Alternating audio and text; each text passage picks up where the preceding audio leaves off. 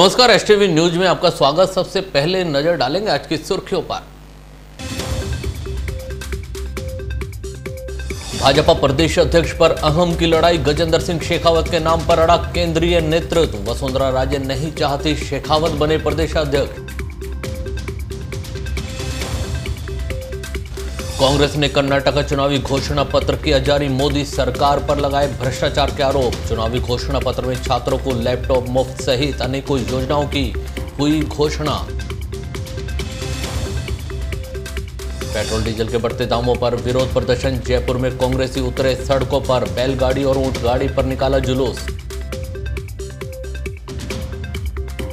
और आसाराम की जमानत की हुई तैयारी सलमान के वकील लगाएँगे जमानत। याचिका सोमवार को शिल्पी की जमानत। याचिका होगी दाखिल। और अब समाचार विस्तार से। राजस्थान में भाजपा के लिए प्रदेश अध्यक्ष की घोषणा करना किसी सिर दर्द से कम नहीं। भाजपा के पूर्व प्रदेश अध्यक्ष अशोक परनामी को अध्यक्ष पद से इस्तीफा दिए हुए लगभग दो सप्ताह बीत चुके हैं। उसके बाद केंद्रीय नेतृत्व ने प्रदेश अध्यक्ष के लिए जोधपुर सांसद और केंद्रीय कृषि राज्य मंत्री गजेंद्र सिंह शेखावत का नाम लगभग तय कर दिया था। लेकिन मुख्यमंत्री राजे शायद इस नाम से सहमत नज़र नहीं आ रही। इसी संदर्भ में राजे ने गुरुवार को राष्ट्रीय अध्यक्ष अमित शाह से मुलाकात की और प्रदेश अध्यक्ष जातिगत समीकरणों के आधार पर बनाए जाने की बात कही। लेकिन भाजपा का केंद्रीय नेतृत्व गजेंद्र सिंह के पक्ष में नज़र आ रहा है। वहीं इस खींचतान में सांसद नारायण पंसारी का नाम भी आगे आ सकता है। फ़िलहाल भाजपा प्रदेश अध्यक्ष की घोषणा कर्नाटक चुनाव तक टलती नज़र आ रही है। इसी वर्ष राजस्थान में हुए तीन उपचुनाव में भाजपा को मिली करारी हार के बाद प्रदेश अध्यक्ष से लेकर मुख्यमंत्री का चेहरा बदले जाने के कयास लगाए जा रहे थे। इसमें करीब दो सप्ताह पहले प्रदेश अध्यक्ष अशोक परनामी ने अध्यक्ष पद से इस्तीफा तो दे दिया, या यूँ कहें कि ले लिया गया। लेकिन नए प्रदेश अध्यक्ष के लिए मुख्यमंत्री खेमा लामबंद हो चुका है। स्वयं मुख्यमंत्री ने भी केंद्रीय नेतृत्व द्वारा अध्यक्ष पद के लिए सुझाए गए नाम गजेंद्र सिंह शेखावत पर सहमति नहीं दी। इस सिलसिले में पिछले दिनों राजस्थान के कई मंत्री, जिसमें यूनुस खान हेम सिंह भड़ाना, कालीचरण सर्राफ सहित अनेकों मंत्री और विधायक राज्य के समर्थन में पहुँचे और प्रदेश अध्यक्ष जातिगत समीकरण के आधार पर बनाने की बात कही। लेकिन शायद बात बनती न देख स्वयं मुख्यमंत्री ने गुरुवार को अमित शाह से मुलाकात की। उस पर भी कोई निष्कर्ष नहीं निकल पाया। वहीं राज्यसभा सांसद नारायण पंसारी का नाम भी प्रदेश अध्यक्ष के लिए लिया जाने लगा है। फ़िलहाल कर्नाटक चुनावों तक मामला अटक गया है। दिल्ली में राजस्थान के कई मंत्री और विधायकों ने डेरा डाला हुआ है। ऐसे में केंद्रीय नेतृत्व द्वारा प्रदेश अध्यक्ष के लिए कृषि राज्य मंत्री का नाम लगभग फाइनल किया जा चुका है। लेकिन वसुंधरा खेमा जातिगत आधार पर अध्यक्ष बनाए जाने की वकालत कर रहा है। जबकि कारण सिर्फ़ यही है कि गजेंद्र सिंह राजे के विरोधी माने जाते हैं और राजे किसी भी सूरत में नहीं चाहती कि शेखावत अध्यक्ष बने। ऐसे में इसका खामियाजा प्रदेश में भाजपा को चुनाव में उठाना पड़ सकता है। कर्नाटक विधानसभा चुनाव के लिए कांग्रेस अध्यक्ष राहुल गांधी ने शुक्रवार को पार्टी का घोषणा पत्र जारी कर दिया। बेंगलुरु में घोषणा पत्र जारी करते हुए राहुल गांधी ने कहा कि यह घोषणा पत्र लोगों से पूछकर बनाया गया है। राहुल ने कहा कि हमने कर्नाटक के हर ज़िले में जाकर लोगों की राय ली। हम घोषणा पत्र में किए गए एक एक वादे को पूरा करेंगे। इस मौके पर राहुल गांधी ने बीजेपी पर तीखा हमला बोला। उन्होंने राफेल डील में भ्रष्टाचार का आरोप भी लगाया और नीरव मोदी के बैंक घोटाले पर भी बीजेपी सरकार को घेरा। उन्होंने पीएम मोदी के मन की बात कार्यक्रम को लेकर तंज कसते हुए कहा कि वह अपने मन की बात नहीं कह रहे, बल्कि लोगों के मन की बात के मुताबिक काम कर रहे हैं। साथ ही उन्होंने कहा कि बीजेपी का घोषणा पत्र कुछ ही लोगों और राष्ट्रीय स्वयंसेवक संघ के मुताबिक बनेगा। उन्होंने आरोप लगाया कि बीजेपी संत बसवन्ना को मानने का नाटक करती है, लेकिन उनके विचारों का पालन नहीं करती। राहुल के साथ कार्यक्रम के दौरान मुख्यमंत्री सिद्धि रमैया और पार्टी के अन्य बड़े नेता मौजूद रहे। कांग्रेस के घोषणा पत्र में 18 से 23 साल के छात्रों के मुफ़्त स्मार्टफ़ोन का वादा और बारहवीं तक मुफ़्त शिक्षा साथ ही हर साल 15 से 20 लाख युवाओं को नौकरी दिए जाने का वादा किया गया है। वहीं कांग्रेस अध्यक्ष पिछले कुछ महीनों में कर्नाटक का छह बार दौरा कर चुके हैं। This is manifesto that has been made by going to every single district, every single block, every single community, every single region of this state. And we have not gone to the people of Karnataka and told them, this is what we want to do. We have gone to the people of Karnataka and asked them, what do you want your government to do? So, it's a, it's a philosophical difference. The Prime Minister likes to tell people his Man Ki Baat. This manifesto contains the Man Ki Baat of the Karnataka people. And my commitment to you and Siddharamaya ji, Kharge ji, and all our leaders on the state's commitment to you is that like the last time, what we are saying in this manifesto is going to be done. In our last manifesto, almost 95% of things that we said have been done. And the reason is, the reason is that we believe in the philosophy of Karnataka. We believe in the philosophy of Basavana, who said, Nudidante Nade.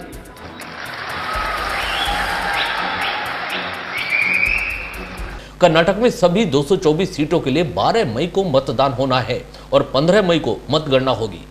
देखना होगा कि कर्नाटक में होने वाले विधानसभा चुनाव में कांग्रेस का यह चुनावी घोषणा पत्र मतदाताओं को कितना लुभा पाता है।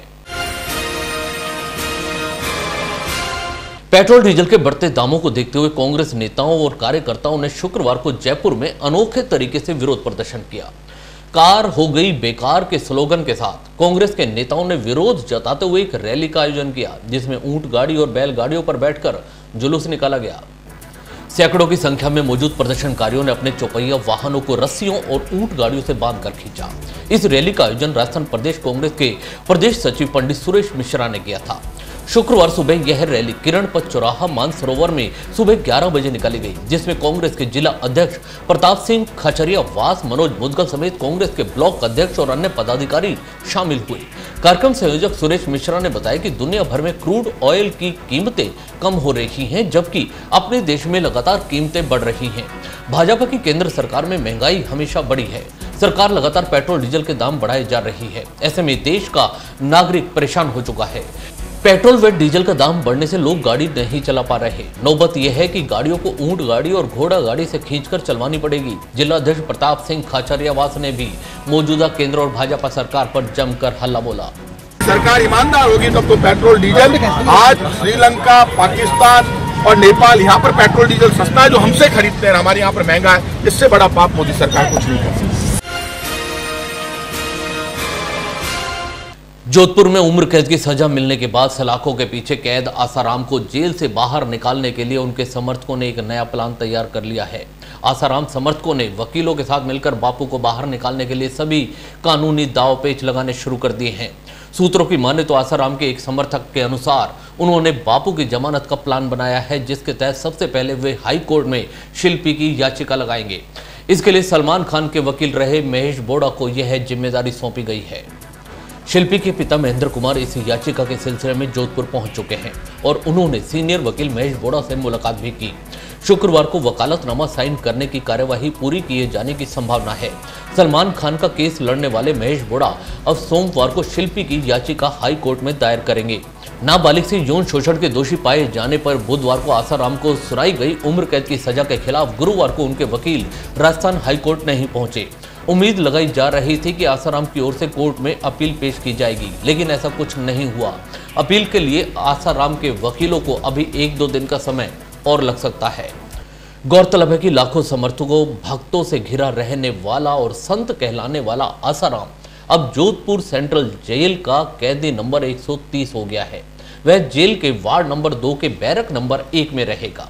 उसके साथ पहले रसोईया प्रकाश रहता था। अब उसका सेवादार शरद होगा। शरद का कैदी नंबर एक है। वह वार्ड नंबर दो के बैरक नंबर दो में रहेगा।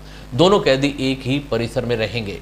शिल्पी को सेंट्रल जेल परिसर में ही महिला जेल में भेजा गया है। बांदीकुई ज़िले के बसवा थाना इलाके में कोलाना स्थित जेल से शुक्रवार को दो कैदी दीवार फांदकर भाग निकले। घटना का पता चलने पर जेल महकमे में हड़कम मच गया। सूचना मिलने पर पुलिस मौके पर पहुँची। आनंद फानन में टीमें गठित कर दोनों बदमाशों की तलाश शुरू कर दी गई, लेकिन दोपहर तक पता नहीं चल पाया। लूटपाट के मुकदमे में जेल में बंद थे ये दोनों कैदी। जानकारी के अनुसार जेल से भागने वाले बंदी शाद और साबिर हैं। पिछले साल नवंबर में बसवा इलाके में बिजली निगम ऑफ़िस में लूटपाट के मामले में पुलिस ने इन्हें गिरफ़्तार किया था। तब से दोनों कोलाना गाँव स्थित उप कारागृह में बंद थे। शुक्रवार सुबह करीब पौने छह बजे जेल में बंदियों को चाय नाश्ता दिया गया। तब तक दोनों बंदी इशाद और साबिर वहाँ मौजूद थे। इसके बाद वे दोनों जेल से भाग निकले। जेल में बंद चल रहे दोनों कैदियों ने अपने तीन चार कंबलों को फाड़कर काफ़ी लंबी रस्सी बनाई। इसके सहारे वे जेल की करीब 25 फीट लंबी दीवार फांदकर भागने में कामयाब रहे। अब जेल अधीक्षक की रिपोर्ट पर बसवा थाना पुलिस ने मामले की पड़ताल शुरू कर दी है। बताया जा रहा है कि जेल की बाहरी सुरक्षा में तैनात आरएसी का एक जवान अपने क्वार्टर की तरफ़ जा रहा था। तब उसने जेल की बाहरी दीवार की तरफ़ कंबल की रस्सी लटकते हुए देखा। संदेह होने पर आरएसी जवान ने जेल प्रबंधन को सूचना दी। जेल अधिकारियों ने वहाँ मौजूद बंदियों की गिनती करवाई। तब इशाद और साबिर गायब नज़र आए। इसके बाद जेल महकमे में हड़कम मच गया। तत्काल बसपा पुलिस और उच्च अधिकारियों को सूचना दी गई। अपने नाबालिग बच्चों को गाड़ी सौंपना अब पेरेंट्स को काफ़ी महँगा पड़ गया है। नाबालिग बच्चों को गाड़ी चलाने के लिए देने के आरोप में हैदराबाद ट्रैफ़िक पुलिस ने 26 पेरेंट्स को अरेस्ट किया है। हैदराबाद ट्रैफ़िक पुलिस ने यह कदम नाबालिगों को सड़क पर ड्राइविंग से रोकने के लिए उठाया है। मीडिया रिपोर्ट्स के मुताबिक मार्च अप्रैल माह में 26 ऐसे पेरेंट्स को अरेस्ट किया गया है, जिनके 18 साल से कम उम्र के बच्चे सड़क पर ड्राइविंग करते हुए पाए गए।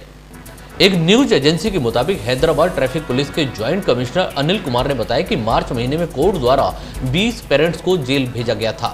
हैदराबाद पुलिस इन दिनों पेरेंट्स और बच्चों के लिए काउंसलिंग सेशन आयोजित कराने से लेकर एफआईआर दर्ज करा रही है, ताकि ट्रैफ़िक नियमों को लेकर जागरूकता बनी रहे।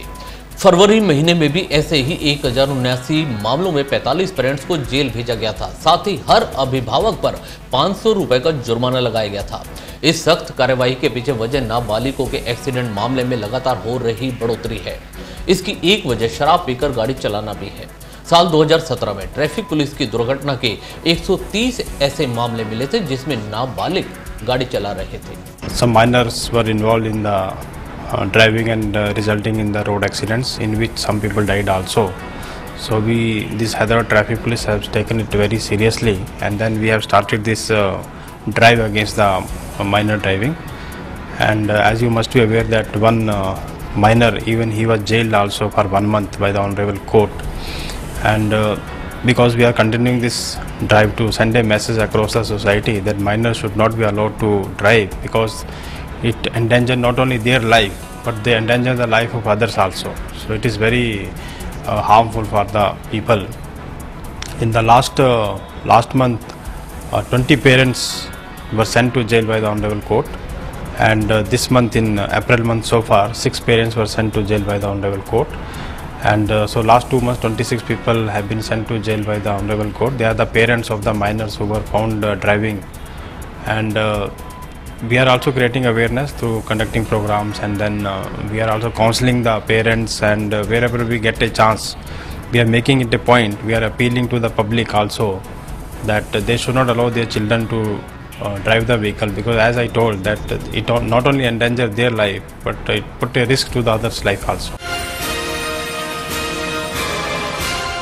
Parshuram Kala Mandir Samiti की ओर से कचहरी रोड स्थित सांदीपन उच्च माध्यमिक विद्यालय में आज शाम साढ़े पाँच बजे प्रधान आयकर आयुक्त बी के तिवारी का नागरिक अभिनंदन किया गया। संस्था अध्यक्ष राधामोहन शर्मा ने बताया कि समारोह में राष्ट्रभक्ति की कविताओं का पाठ भी किया गया। परशुराम कला मंदिर समिति द्वारा सांदीपन स्कूल में प्रधान आयकर आयुक्त बी के तिवारी का सम्मान समारोह किया गया। इस दौरान कार्यक्रम की अध्यक्षता सनराइज यूनिवर्सिटी के chancellor doctor V K Agarwal ने की। संस्था अध्यक्ष राधा मोहन और सांदीपन संस्था प्रधान पंडित रामोतर शर्मा ने आयकर आयुक्त का माला पहनाकर स्वागत किया। वहीं इस मौके पर पंजाबी वेलफेयर सोसाइटी अध्यक्ष दीवान चंद सेतिया पुषार्थी समाज अध्यक्ष राकेश अरोड़ा, समाज सेवी अशोक तनेजा और मदनलाल शर्मा ने आयुक्त को गुलाबी पगड़ी बांधकर सम्मान किया। इस दौरान ब्राह्मण समाज की विभिन्न संस्थाओं ने का माला पहनाकर स्वागत किया। कार्यक्रम में देश भक्ति से ओत प्रोत काव्य पाठ भी किए गए। वहीं कार्यक्रम में महेश खेड़ापति, सत्यनारायण शर्मा, आईटीओ बिशन कालरा, दीपक पंडित रामजस चौधरी से काफ़ी संख्या में लोग उपस्थित रहे।